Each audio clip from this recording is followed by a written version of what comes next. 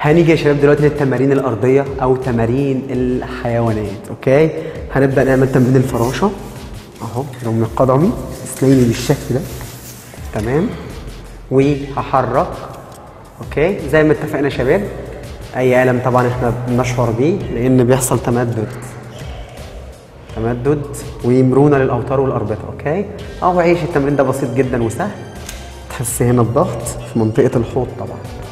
okay؟ ده اسمه تمرين الفراشة butterfly نيجي لل- للتمرين التاني بعد ما خلصنا الفراشة الضفدع الضفدع ده بقى مهم جدا.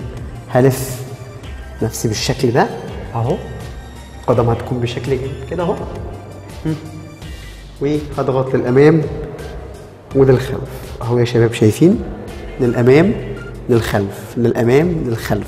اعمل التمرين ده بهدوء جدا عشان ما تحسش عشان ما تحسش بالام شديد وما يجيلكش إصابات.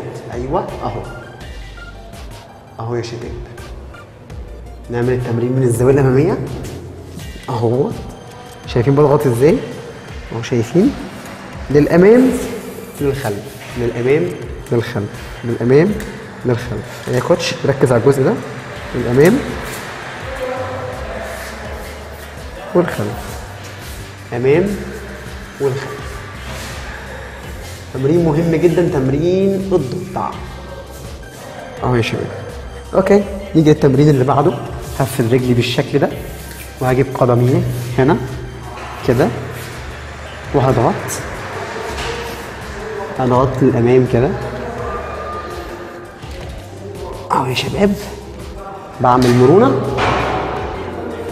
لرجلي الجانب الآخر. تمام؟ أهو. 1 2 3 4 أوكي هنيجي بقى للتمرين اللي جاي ده. هنحس فيه بطقطقة شوية لكن طبيعي جدا. هميل كده وهعمل حركة دائرية. أهو.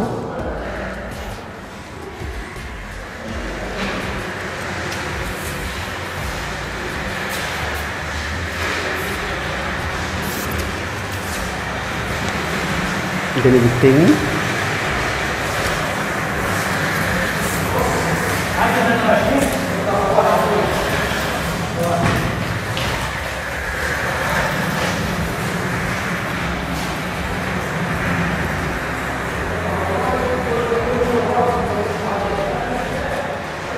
nice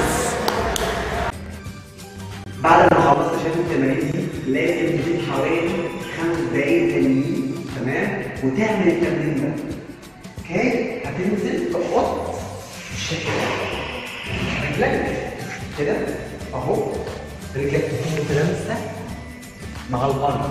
ما ينفعش تكون ركبتك مرفوعه أحط ايدي الاثنين قدام واضغط. واحد اثنين ثلاثة أربعة خمسة ستة سبعة ثمانيه تسعة عشرة. لازم لما لما تخلص الحوض تعمل ده حوالي خمس دقايق تجيب آخر رجلك وتفضل تضغط كتير جدا.